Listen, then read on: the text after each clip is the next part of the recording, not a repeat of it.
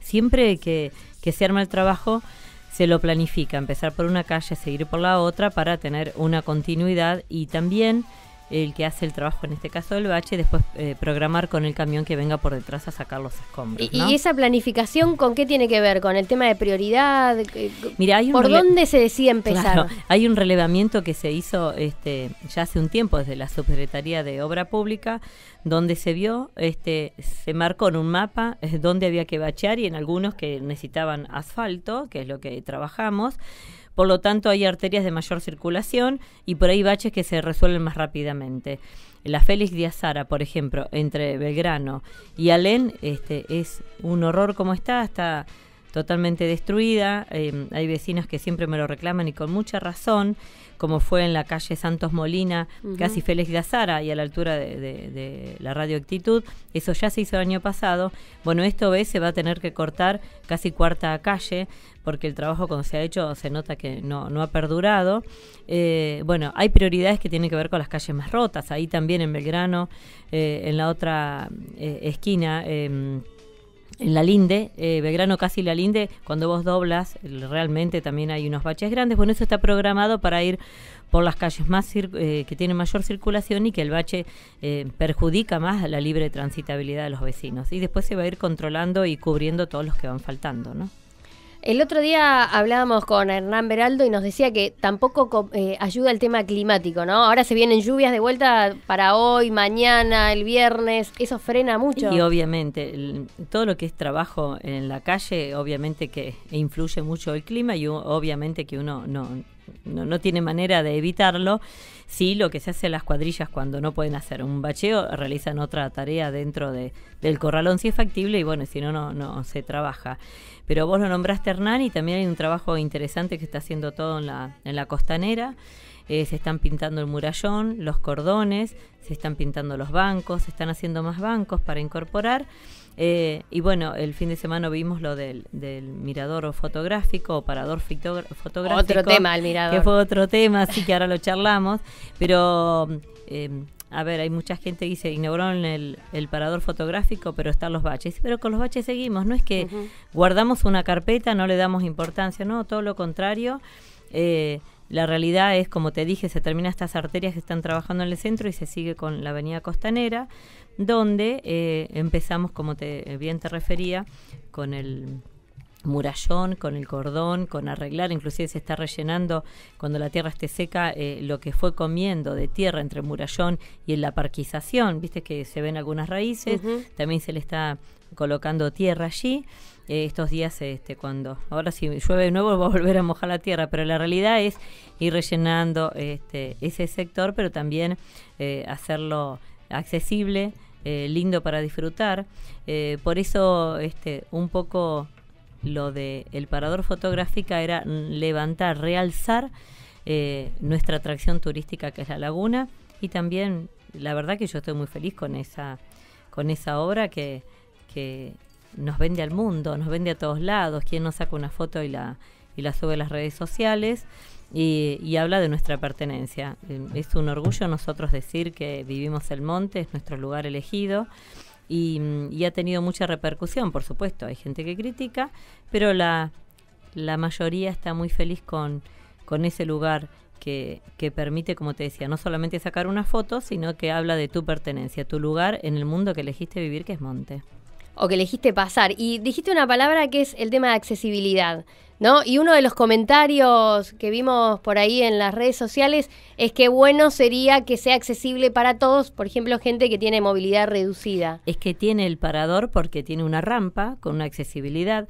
Lo que están viendo este, en la Subsecretaría de Obra Pública, desde el asfalto, trabajar algún tipo de, de, de rampa para que pueda subir a la vereda y, poder irle incorporando la accesibilidad a todo. Ya el, parador fotográfico como es nuevo, es una construcción que hicimos, lo preveímos de esa manera, así que si uno viene cómo se desliza ese parador, tiene una especie de rampa para que pueda subir tanto un carrito de un bebé como una silla de ruedas, como una persona con con este, movilidad reducida. Eh, sí, falta hacerle ese ingreso desde la calzada, por supuesto, que es lo más difícil, pero está pensado, mira, la accesibilidad es un, es un tema que tenemos deuda, no como ciudad montense, sino en general, porque no estaba incorporada pensar que una persona con una movilidad reducida podía circular por toda una ciudad. Bueno, Monte ha pasado eso y nosotros lo venimos trabajando desde el año pasado. Había algunas rampas existentes, por supuesto. Otras eh, se rompieron y otras este, tuvo que reacondicionar. Pero nosotros desde la terminal hacia el centro de la ciudad se hizo todo este, un trayecto de rampas por toda la avenida San Martín para permitir que, como te decía, tanto puede ser una familia con carritos de bebé, una persona en silla de ruedas o con movilidad reducida pueda deslizarse bien este, ingresando a las veredas con una rampa. Eso es una primera etapa. Ahora eh, nosotros trabajamos con fondos de provincia con un plan de accesibilidad urbana, donde la semana que viene ya empiezan a poner las luminarias LED, eh, que van primero a las columnas, por supuesto, se le pone el artefacto, y ya se mandaron a este, hacer el concurso para lo que son las rampas, que estas ya vienen eh, de forma diagramadas con los requerimientos que, que, pide la ley, que sean táctiles, viste que hay algunas que prevén cualquier tipo de disminución, ya sea visual, inclusive se está este, pensando en, la zona céntrica, son ocho manzanas donde hay semáforos a hacer también para que eh, puedan prevenirse el cruce de personas con sonido. claro las sonoras. Eh, entonces la accesibilidad es un tema que ha quedado muy eh, como sociedad relegado pero nosotros hemos tomado eso como algo importante desde la creación de la Subsecretaría de Discapacidad en el municipio, la dirección, de, discapacidad que está a cargo de Horacio Giuliano, eh, él trabaja todos los temas de capacidad acercando los servicios a los familiares o vecinos que tengan alguna problemática, con el centro de rehabilitación que funciona en el, edificio del hospital Zenón de Adorna, pero que es un centro de rehabilitación municipal, con el tema de la Junta Médica. Digo, estamos pensando, por supuesto, en tomarlo, eh, en que lo hemos tomado como un tema de agenda.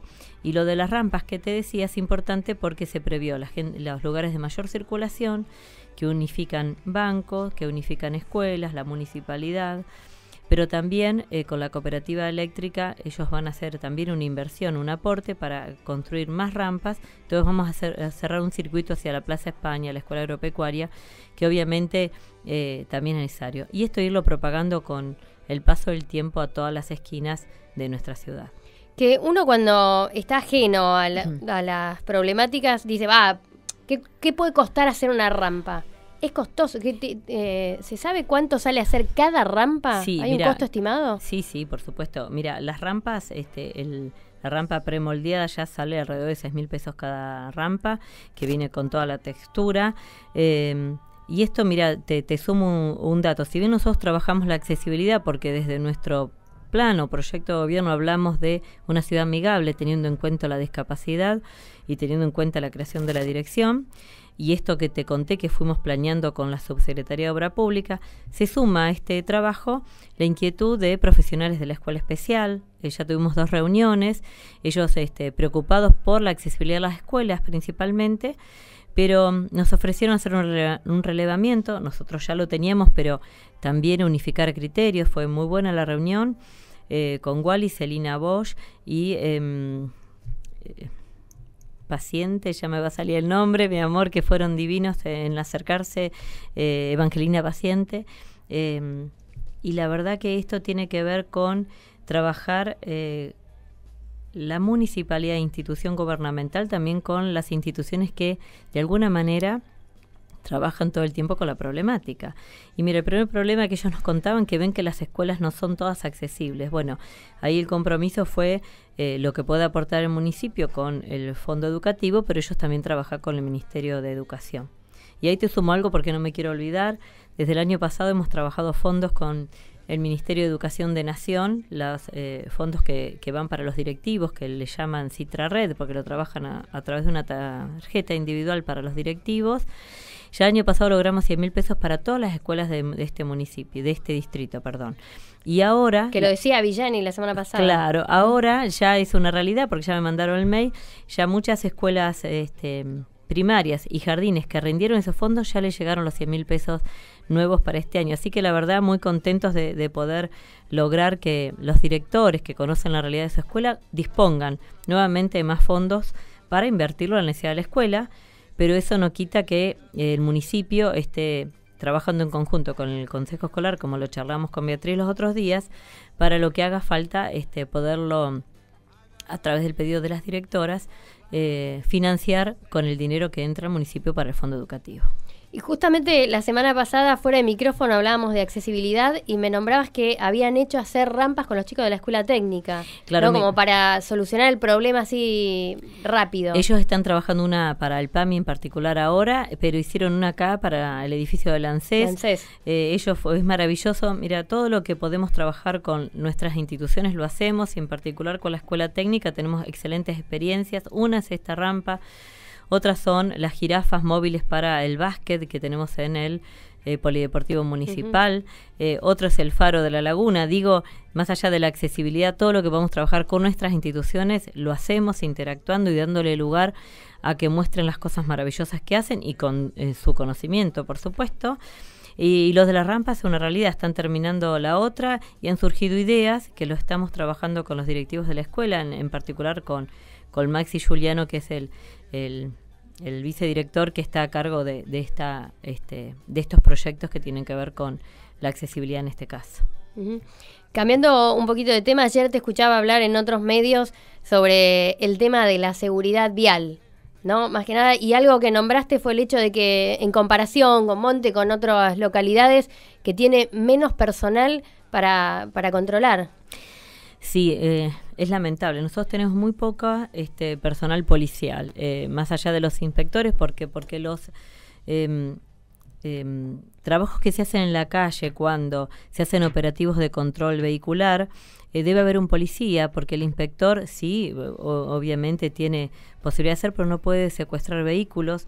Entonces, cuando hacemos estos operativos para que sean eficientes, porque a veces el inspector para, pide la documentación y si hay una irregularidad no puede secuestrar. De así esa comparación porque en, el otro medio me decían que, que pasaba que Lobos estaba tan ordenado.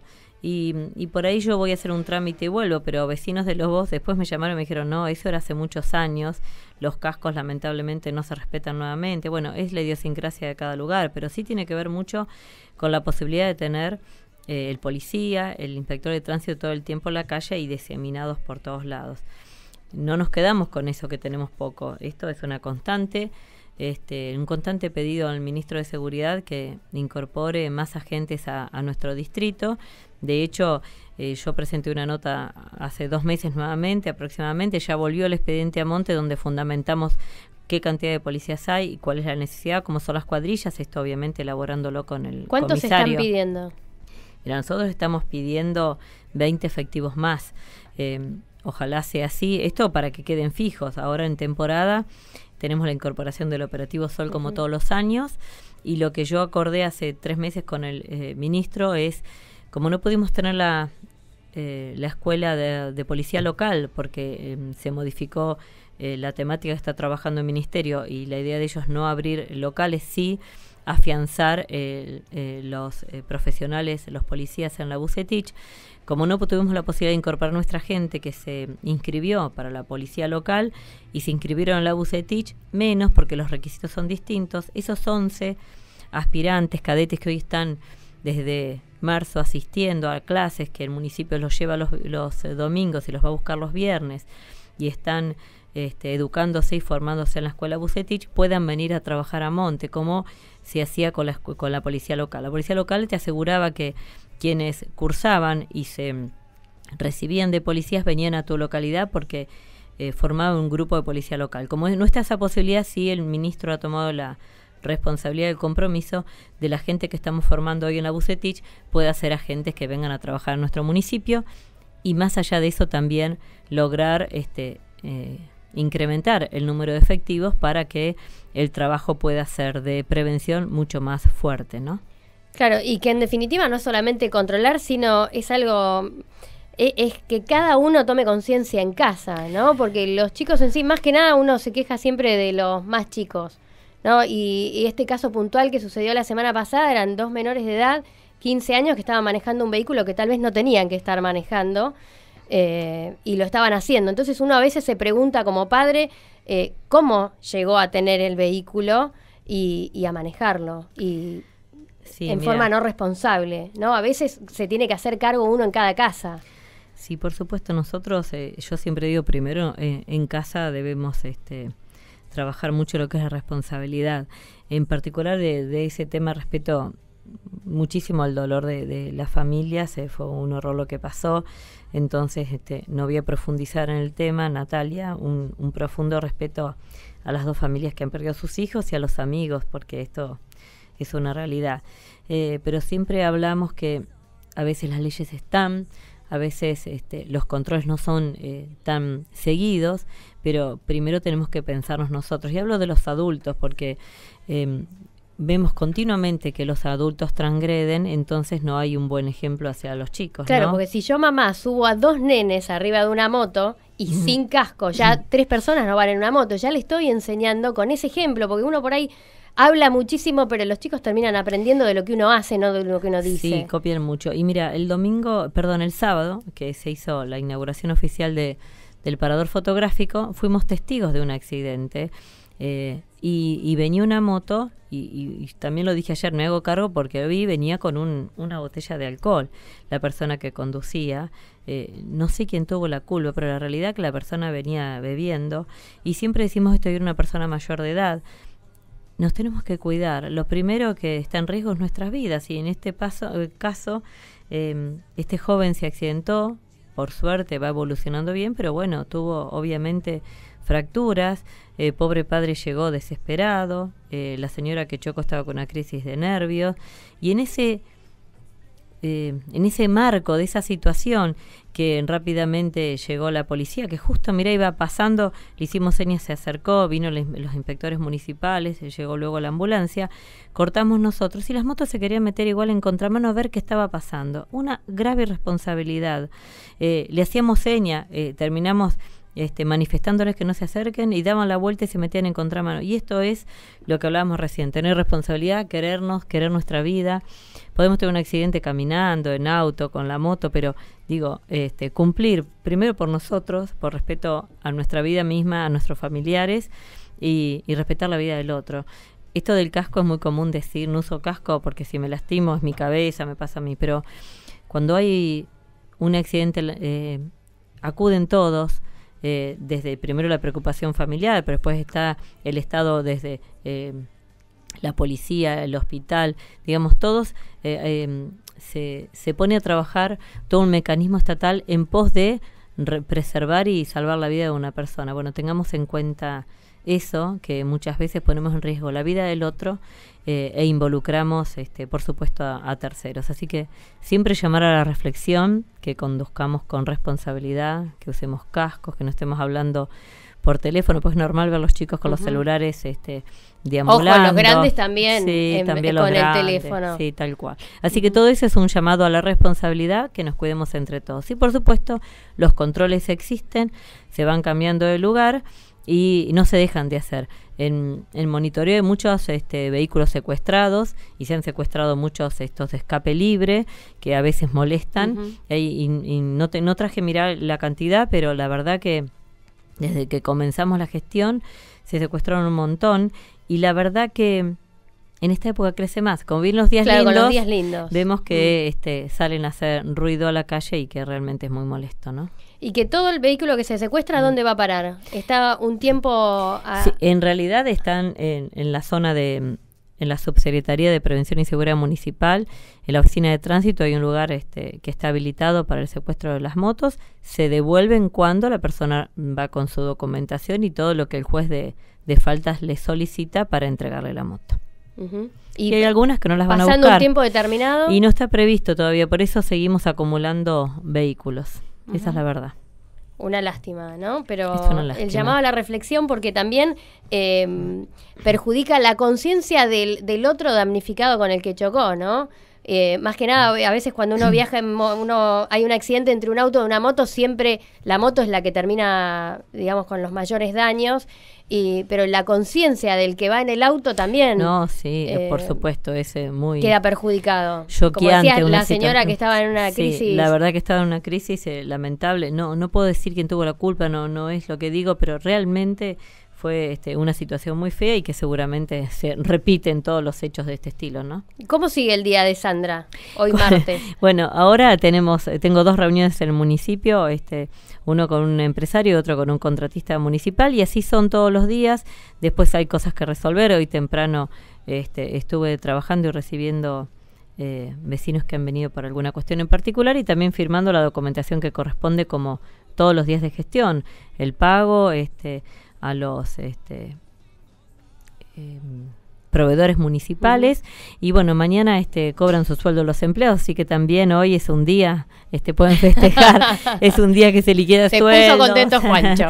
Que hay consultas así que también obviamente trabajando en eso. Y bueno el día siempre por suerte es largo porque hay mucha actividad por suerte en el sentido que uno aprovecha y y, no hay horario de esto, siempre surge algo, entonces te va cambiando la agenda de trabajo. Este viernes es feriado administrativo. Es feriado administrativo y la verdad que eh, recordando años de, nuestra localidad, este, siempre se, se lograba interactuar con lo que era la fiesta religiosa nuestra con tanto respeto, con, con actividades este, si querés gubernamentales o que participaba el pueblo y se vuelve un poco a eso. Este viernes va a haber este, una linda feria en, la plaza con el, Monte Emprende. El sábado va a haber este, espectáculos y con la presencia de, nuestro obispo. Así que em, va a estar este, muy interesante y muy cálido, entiendo, este, toda la festividad que se organizó desde la parroquia San Miguel del Monte con el padre Ezequiel Pisione, pero también articulando con el municipio. Y, y te quiero referir algo que ayer me mostró Alejandro, había un, San Miguel Arcángel hace unos años que, que se había dispuesto por unas familias eh, para entregar al municipio y cuando comenzamos la gestión se lo encontró roto y se está exhibiendo aquí en el, en el Centro Cultural ya reparado, una belleza. Eh, y nuestro santo patrono para nosotros tiene mucha importancia eh, y quienes este, son de fe, este, entiendo que es así, pero es un representante, eh, una guía. Nuestro, nuestra ciudad se llama San Miguel del Monte, justamente por San Miguel Arcángel, nuestro santo patrono, más allá que el partido es Monte, ¿no? Gracias, Sandra. No, gracias a vos, Natalia, gracias a los chicos del control. Este, y bueno, vuelvo la semana próxima, seguramente. Aquí estaremos. Muchísimas gracias. Te dejamos que sigas trabajando. Sandra Mayol pasó por Estamos como estamos.